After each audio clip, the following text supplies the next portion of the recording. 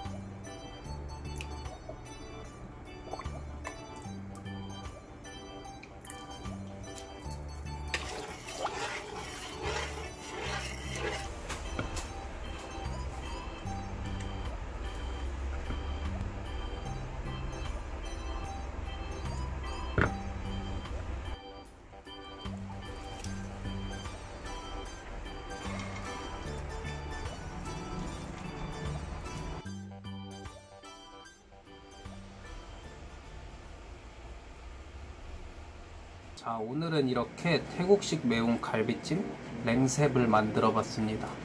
우리나라 매운 갈비찜은 빨간 양념을 해서 빨갛게 해서 눈으로만 봐도 매운맛이 느껴지는데요. 이 태국식 매운 갈비찜은 이렇게 좀 맑은 국물에 매운 고추들을 넣어서 만드는 방식이에요.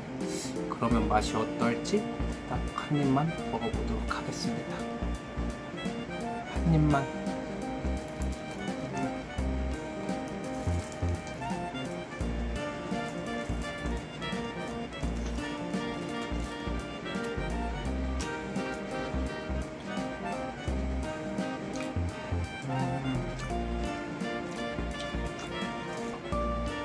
간이 강한 그런 갈비찜 맛은 아니고요. 그냥 심플한 갈비찜 같아요. 심플한데 매운맛이 좀 나는 그런 갈비찜 맛입니다. 그냥 심플한 맛 좋아하시는 분들은 충분히 좋아하실 그런 맛인 것 같아요. 이렇게 그러면은 랭샘 만들어 보고 먹는 것까지 다 끝났습니다. 다음 주에 또 다른 레시피로 찾아올 거고요. 시청해 주셔서 감사드리고 모두 맛있는 주말 보내세요.